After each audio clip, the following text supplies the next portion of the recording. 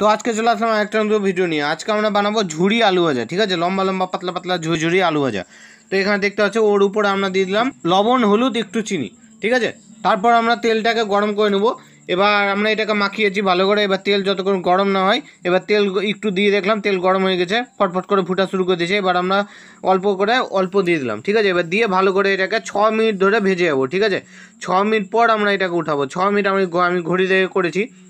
তো মানে ছ মিনিটই লেগেছে আমাদের, এবার তোমাদের ক মিনিট লাগবে ওটা তোমরা জানো। তো আমাদের মোট কথা ছ মিনিট ছ মিনিট লেগেছে, ঠিক আছে? এবার ছ মিনিট পর আমরা এটাকে উঠিয়ে নিলাম, এবার ছ মিনিট উঠানোর পর আমাদের এটা ঝুড়ি ঝুড়ি কড়া করা হয়ে গেছে। তো আমাদের এখানে ভিডিও